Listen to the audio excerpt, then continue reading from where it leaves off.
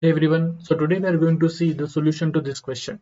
Okay, so this question is based on the concept of directional derivative. I have talked about this in my earlier lecture, link you can find in the description.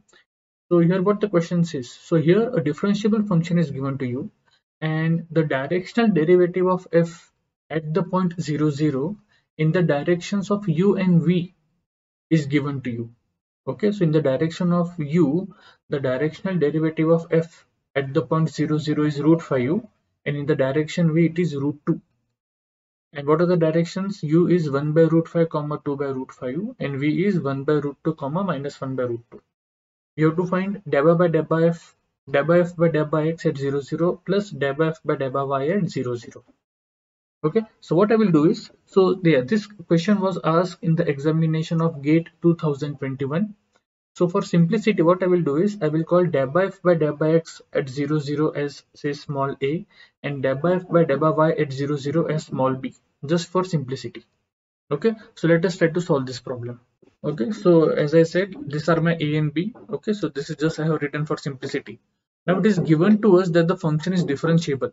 So there is a very nice theorem that we will see in the lecture as well for which the link is there in the description. Directional derivative of a function at a point say a naught b naught okay? In the direction u is nothing but you take the dot product between the direction vector which is a unit vector and the gradient of the function at that point a naught b naught.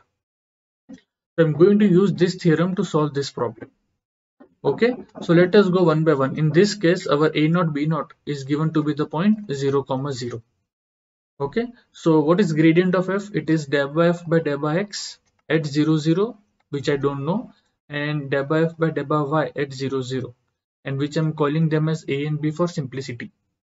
Okay so if I apply this theorem let us apply for the direction u bar. So I have duf at 0 0 is nothing but grad f at 0 0 dot product with u bar right?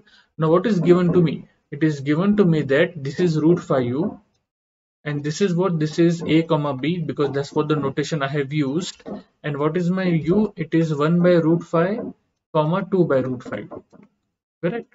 Now if I take the dot product this is a plus 2b whole divided by root 5u and if I take root 5 on the left hand side I get 5 so this is my equation 1 also directional derivative of a function at 0 0 in the direction of v is given by the dot product of grad f at 0 0 with v bar.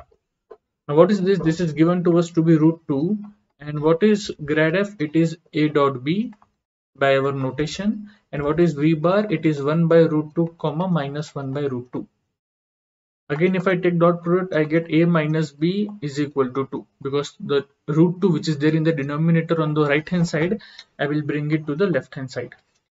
So i have equation 1 and 2 right? Now if i do 1 minus 2 if i do 1 minus 2 so 5 minus 2 is 3 so 3 is equal to what i have a minus a goes away. 2b plus b will be 3b so my b comes out to be 1 okay and the second equation as soon as my b is 1 my a comes out to be 3 okay so my a comes out to be 3 and therefore a plus b the answer is nothing but 4 okay so i hope this is clear. If you have any doubt you can ask me in the comment section. Thank you